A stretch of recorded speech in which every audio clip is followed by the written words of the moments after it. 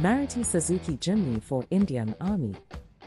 Jimny, an all-wheel drive SUV, is designed specifically for the Indian market with an investment of 950 crore.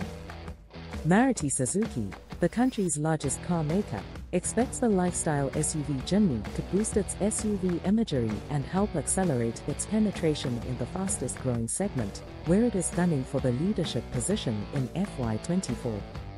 The 4x4 vehicle can traverse tough and diverse terrains of the country and hence the model may also be offered to the Indian Armed Forces, which has relied on the iconic Gypsy for decades, said the senior company executives. Jimny will further enhance our credentials in the SUV segment, says Srivastava, adding that the pace of growth in the SUV market surprised Maruti, and with the expansion of portfolio, the company is trying to address a larger customer base and capitalize on the shift in favor of SUVs. Already 1,000 vehicles have been produced and deliveries should begin in a few weeks. Thanks for watching.